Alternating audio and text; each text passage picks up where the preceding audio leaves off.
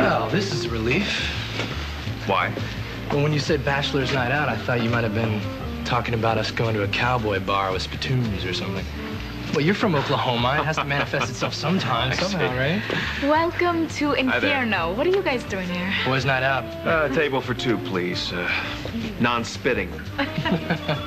Excuse me. Josh Lewis speaking. Mrs. Lewis here. Well, I hope you're on your way home because your brother's scaring me.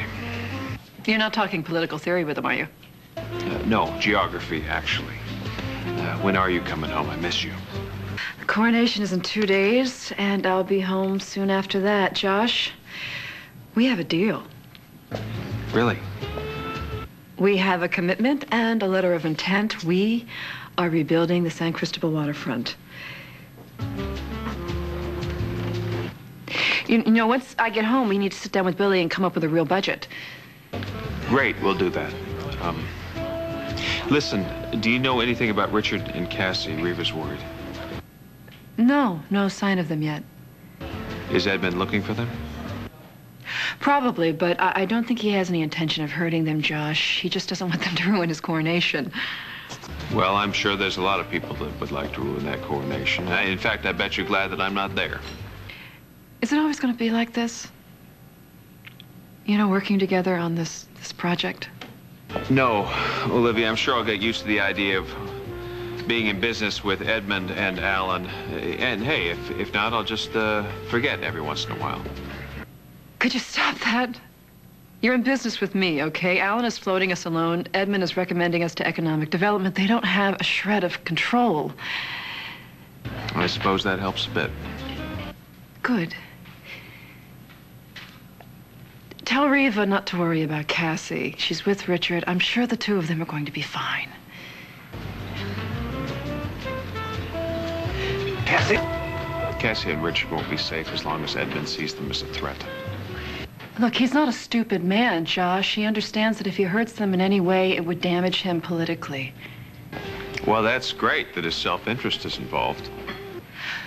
Yes, it is. You know, that's the one thing you can always trust with Edmund. That's why we have this spectacular deal. It's going to be a giant boon for this country. Well, I can't wait to hear the stipulations he's put in. What do you mean? Oh, come on now. Just, uh, just, just tell me about him. You know, what, what does he want? A 20-foot statue of himself in the harbor, or maybe a, a kickback of some kind? Maybe his initials on every building. How would that be? You know, he hasn't thought about the statue, and that surprises me. Maybe I should um, suggest it. No. Olivia, forget the coronation.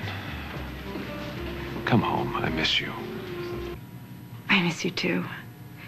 But I really want to get things solidified here. And you know something, Josh? I don't want to miss this coronation.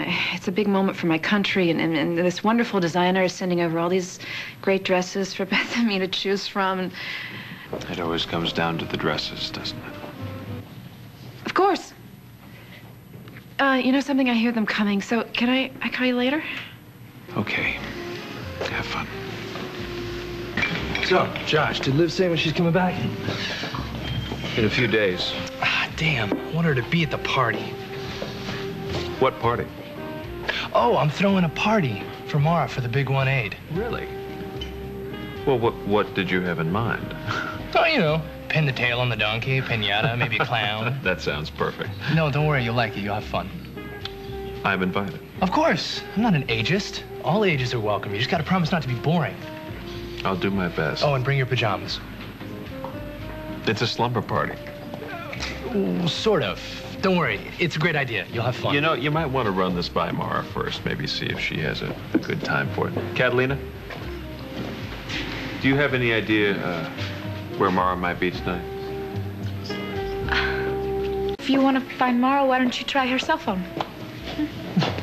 Of course. Well, there's an idea. I think I have her number on this somewhere. Let me see.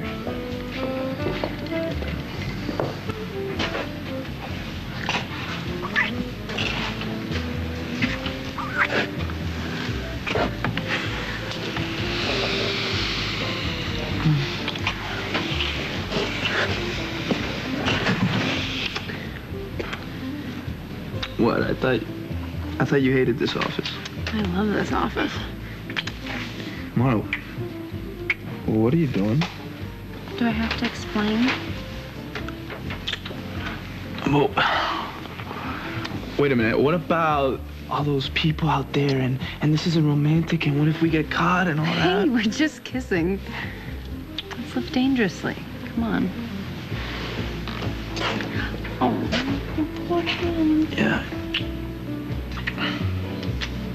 Look, Marah. I'm sorry you had to see that. I didn't I didn't want you to I didn't want to fight that guy. I didn't Hey, I was glad I was there. why? What? Why were you glad you saw me hit someone?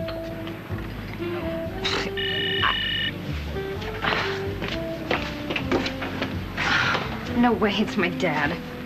That's your dad? Yeah, don't worry, I, I just shut it off. Well maybe you should pick it up. What? Could be important. Oh, great. So now you're you're like my dad's big buddy. No. No, I'm not your dad's big buddy, but he's gonna wonder why you didn't pick up the phone. And if he finds out you're with me and you, he knows you blew him I off, that's trouble. tell. What you... Marah, come on. It's gonna take two minutes. Just answer the phone. Bugging you? Do you need a break or something? No, Marah, that's not it at all. I'm just trying to make things okay for you and our family, baby. Come on. No, not for me, because this is not what I want. And it's obvious what you don't want. Marah, please, don't act like this. Come here. Don't act like this is. I feel rejected because that is how I feel. Marah, I'm trying to make things work for us, okay? Come on, don't be like that. Then why don't you call my dad and decide what's best for us?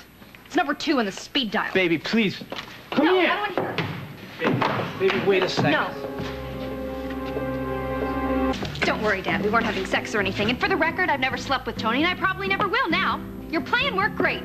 Mr. Lewis. Uh, uh, I'll go after. Hey, what are you doing? Is there something you want to say to me? Mr. Lewis, I don't. I don't want to. Look, the only thing I'm trying to do is right by you guys, all right? I have some bad news for you. You're 0 for 2. What were you doing with my daughter? Okay, Mr. Lewis, this this isn't what it looks like. Then tell me what it is. Explain it at length. You're just gonna have to take my word Did on your shirt just bust open all by itself, Tony? Sit down.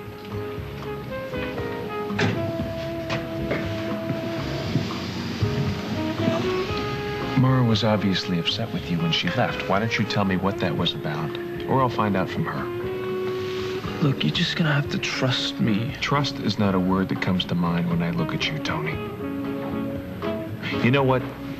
Don't tell me about it because you know I don't I don't really want you to paint me a picture. All we were supposed to have was dinner, Mr. Lewis. That's all I wanted. How did you bruise your knuckles? Did you get in a fight with somebody? Not on purpose, okay? Look, this guy came over to the table, all right, and he started with me. You got in a fight with somebody in front of my daughter? Is that why she's upset? No, that's not. Mr. Lewis, look, he came over to me. He wouldn't stop. First of all, all right, what? Okay, let me ask you something. Have you ever gotten into a fight with somebody? Over... One day. You've been working for me for one day. And you're throwing that Santos name around, you're throwing your muscle around at my site, you're doing God knows what with my daughter, and you're getting in fights in front of her. Now, Tony, what are your plans for tomorrow? I didn't plan any of this. Oh, so that means it's not in your control, you can't stop it? I was willing to give you a chance. Now, I don't expect you to become a model citizen in one day, but you better start showing signs of trying, at least trying. Or you're out the door.